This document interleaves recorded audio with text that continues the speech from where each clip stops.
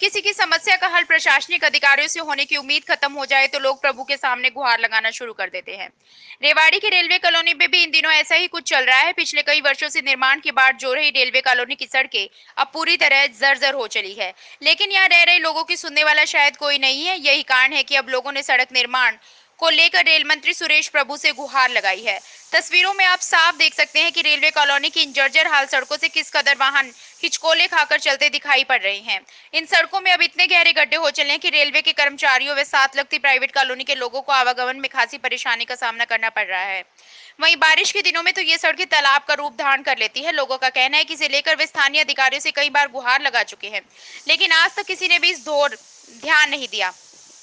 अब तो रेलवे कर्मचारी भी खुलकर सामने आने लगे हैं। ऐसे में अब उन्हें सिर्फ़ भगवान पर ही भरोसा है। आज़ाद टीवी न्यूज़ के लिए रेवाड़ी से अजय सागर अत्री की रिपोर्ट। हर दिन पानी बरसात में भरा रहता है और पानी तो आप 24 घंटे देख सकते हैं वहाँ भरा हुआ। सड़कें टूटी पड़ी है बिल्कुल सड़कें टूटी पड़ी है सर। तो क्या कुछ परेशानी होती है सर? परेशानी तो यही जो लोग बाग जैसे एंबुलेंस वगैरह भी नहीं आ सकते लोग बाग रात पे अपनी ड्यूटी से जो आर आरपीएफ क्वार्टर बने हैं वो भी अपनी रेल कर्मचारी नहीं निकल पाते रात को गिर जाते हैं कोई बाइक लेके गिर जाता है कोई कुछ कई तरह की परेशानी खड़ी हो जाती है।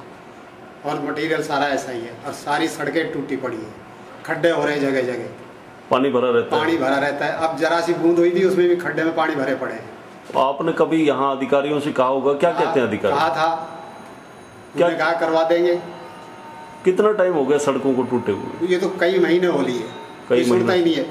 मेन रोड जो है ना अस्पताल के सामने वहाँ भी खड्डे हो रहे हैं। पाँच सालों में कोई यहाँ सुध नहीं ले पा रहे। ई एन डी एन सबको बताया। यहाँ तक कि डी साहब को आया बता दिया था। मंजू गुप्ता आए थे उनको बता दिया था। हेरिटेज गए थे कि साहब हमारे सड़कों को बहुत बुरा हाल है। बरसात भी होता है हल्की सी बरसात आती है पानी भर जाता है यहाँ पर। तो व्यक्ति को सुनने वाला नहीं क्योंकि रेलवे कॉलोनी की बहुत हर खस्ता हालत है। देखो आर पी बैरक की तरफ़ देखो क्या हाल हो रहा है। ये बने सारे रोड टूटे हुए हैं रेलवे के बहुत ज़्यादा इतनी परेशानी होती है। छोटे छोटे बच्चे जाते हैं स्कूल। हमारी आने- जाने में आने, परेशानी। आने जाने में परेशानी होती है। हमारी यही मांग है कि बढ़िया बढ़िया रोड बने अच्छे हो। ये जो बहुत ज़्यादा पानी भरा पड़ा है गड्ढे हैं इनको ठीक करवाए जाए।